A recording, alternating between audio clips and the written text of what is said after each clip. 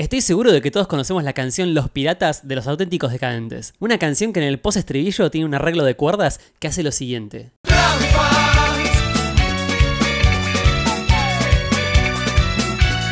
gato y a las trampas. Hmm, ¿a qué me suena esto?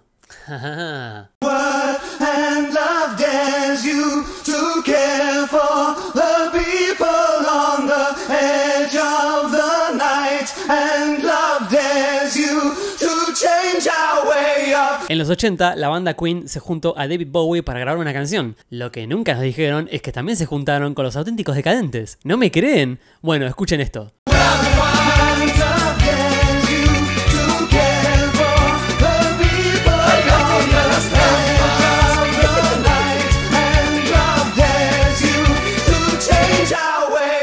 Bueno, ahora que lo pienso, esto tiene sentido porque tanto David Bowie como Freddie Mercury como los auténticos decadentes son todos piratas.